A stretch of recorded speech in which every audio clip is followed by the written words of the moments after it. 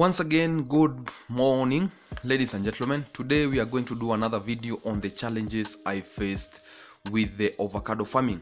Last year I planted around uh, 120 trees, uh, avocado trees, uh, but I didn't know what I will face uh, towards the end of the year.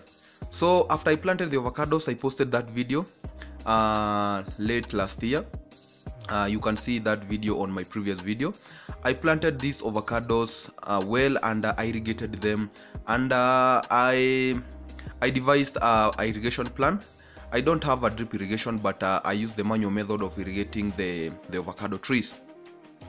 So later later during that year uh, later during the the year last year and during april this year uh, we faced uh, frost uh, which which came and uh, destroyed a lot of our avocado trees.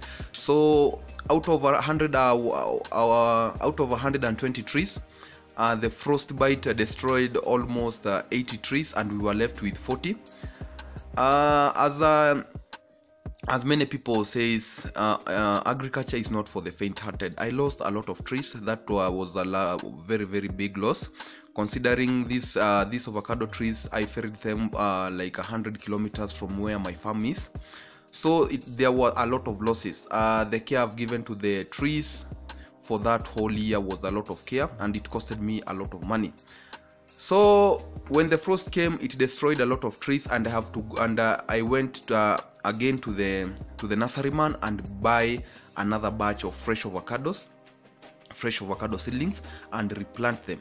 As you can see this is a way that i learned from another farmer uh, after after after the frost destroyed the, the avocado trees i went to do research to see how other farmers are doing to protect the avocado trees from frost. And i discovered one of the farmer who was very successful. The over the frost did not hit his avocados at all at all. And he used this this these nets as you can see these nets that i am using are the ones that are, are, are being used by the greenhouses that uh, plant roses. So these are the waste ones that um, after several years they remove them and they sell them at wholesale prices. So i went and i bought them and i bought those nets and i came and uh, i i devised this uh, this method of covering them. So as uh, as as explained by that farmer if you use this method uh, the frost doesn't land on your on your avocado tree. So you have you avoid the frost bites and hence you avoid the destruction of your avocado trees. So i i did the i did i, I did the planting la- last week and uh, I didn't want to take any chances because uh, we are experiencing a very hot weather. And uh, during this hot weather is when the, the, those fro- frost bites occurs. So I didn't want to take any chance uh, to try uh, to, to, to, to wait and then face another another terrible frostbite like the, the one I, I faced earlier this, uh, this year.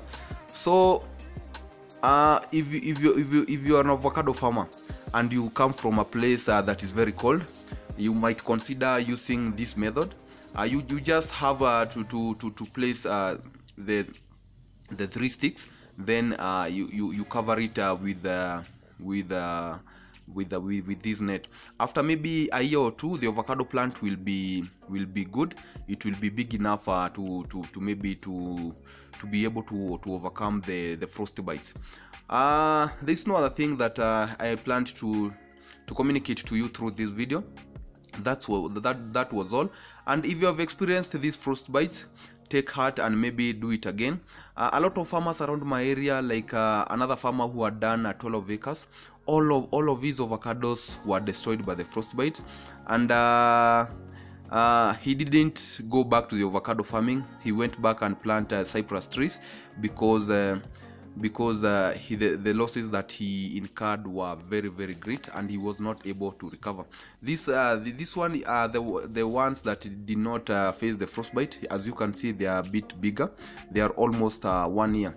Uh, after finishing the work as you can see uh, my avocado are, are now they are now well covered. And as you as you can also see i also planted maize which is not very advisable to do in a avocado farm but uh, I, I i decided to plant these maize plants uh, to be able to cover these trees against frost. So if uh, i hope this video was educative and informative uh, please share subscribe and like our videos and i'll see you in the next educational video. I- i'll see you in the next educational video. God bless you. See you in the next one. Peace